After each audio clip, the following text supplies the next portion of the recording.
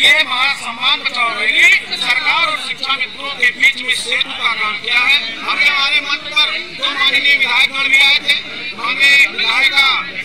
महिलावाद आई थी श्रीमती जया कौशल जी और दूसरे हमारे कुमार जी आए थे मोहनलालगंज और दोनों लोगों ने इस बात की पूरी प्रमाणिकता के साथ कहा कि मैं माननीय मुख्यमंत्री जी से आपकी बात कराऊँगा माननीय कौशल कुमार सिंह जी ने कहा है कि कौशल किशोर जी ने जो केंद्रीय मंत्री हैं, उन्होंने कहा प्रधानमंत्री जी से बात करूँगा। और साथ ही प्रशासनिक बात जो हमारी हुई, अभी हमारे इस बेसिक शिक्षा एजुकेशन में जो इस समय सबसे बड़े अधिकारी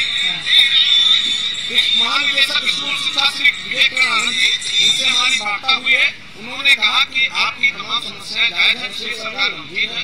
और आपके नियमितीकरण की व्यवस्था में शिथिलता की व्यवस्था चल रही है। लेकिन इसमें आप भी लगे और हम भी लगेंगे। आप मुख्यमंत्री जी से बात करिए और हम मुख्यमंत्री जी के पटल पर आपकी को मानदेय वृद्धि महिला शिक्षा मित्रों का स्थानांतरण विद्यालय वापसी और पंद्रह दिन जो हमारा मानदेय घटा इस पर उन्होंने कहा मैं खुद गंभीर हूँ और ये हमारे स्तर की रुचि है। इस पर मैं शीघ्र कार्रवाई करने का प्रयास करूँगा मानदेय की है? माननीय मुख्यमंत्री जी को हमने कहा था तो उन्होंने कहा मुख्यमंत्री जी को आप शिक्षा मंत्री जी और मुख्यमंत्री जी से आप मिलिए और मुख्यमंत्री जी के पटल पर हमारी एक बार बात हुई है और वो वो भी गंभीर है उन्होंने कहा कि शिक्षा मित्रों की समस्याओं को सुनवाने की आज की वार्ता से संतुष्ट है आप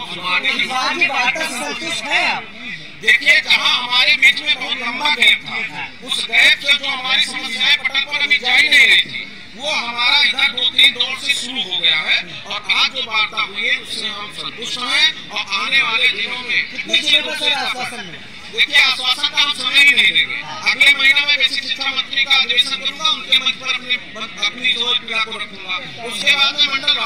हम सांसदों को के पास भेजेंगे, हम प्रधानमंत्री जी के पास आएँगे। तो अब हमने समय किसी को दिया ही नहीं हमें समय का आश्वासन दिया हमें इस कार्य को निरंतरता में तब तक बढ़ाना है, जब तक शिक्षा मित्रों की समस्याओं का समाधान न हो जाए उनका सकारात्मक है